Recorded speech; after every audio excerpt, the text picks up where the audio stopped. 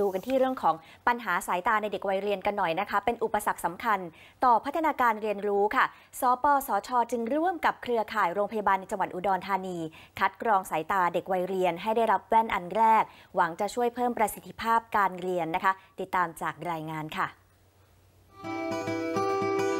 แว่นตาอันแรกที่น้องๆ หนูๆ ได้รับ และสวมใส่กันในวันนี้ เป็นหนึ่งในโครงการเด็กไทยสายตาดีที่คัดกรองสายตาของเด็กวัยเรียน ในพื้นที่อำเภอนายูงจังหวัดอุดรธานีจำนวน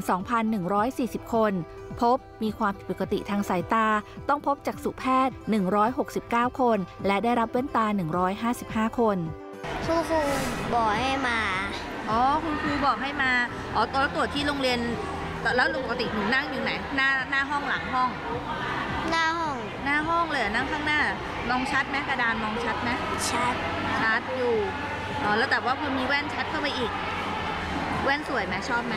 ชอบครับอ๋อใส่แล้วหล่อเนาะไม่ค่อยชัดค่ะอ๋อแล้วแล้วทำยังไง บอกคุณพ่อบอกคุณพ่อคุณแม่หรือว่ามาหาคุณหมอถึงรู้ว่ามองไม่ชัดมาหาคุณหมอเด็กสมัยนี้ส่วนใหญ่จะ มีเทคโนโลยีต่างๆเนาะทั้งสมาร์ทโฟน แท็บเล็ตหรือว่าทีวี ก็ต้องคำแนะนำหลักๆก็คือให้ดูในระยะที่เหมาะสมแล้วก็เวลาที่เหมาะสมนะครับ ไม่ใกล้เกินไปแล้วก็ไม่นานเกินไป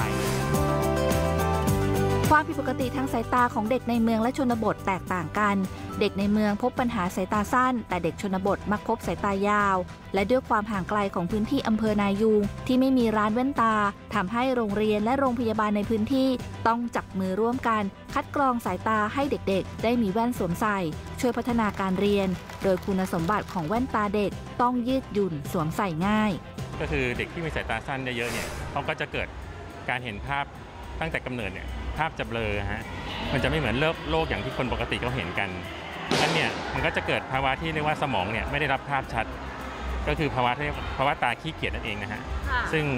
ก็จะมีผลต่อพัฒนาการของเด็กในทุกๆด้านนะฮะทั้งการเรียนทั้งการใช้ชีวิตรวมถึงการเอ่อที่จะเกิดอุบัติเหตุได้ง่ายสำหรับเด็กคนนั้นด้วย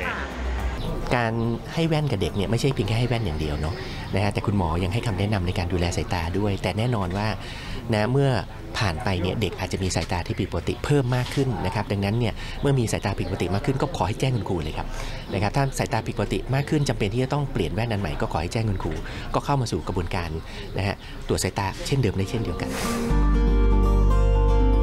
สิทธิประโยชน์ที่ทางสปสช มอบให้เด็กวัยเรียนไม่ได้จบแค่แว่นตาอันแรก แต่เด็กๆยังจะได้รับการตรวจคัดกรองสายตาทุกปี และสามารถรับแว่นตาอันใหม่ เพื่อให้เหมาะสมในแต่ละช่วงวัยจนถึงอายุ 12 ปี สิริธรพัตตกูลชัย สำนักข่าวไทย อสมท รายงานค่ะ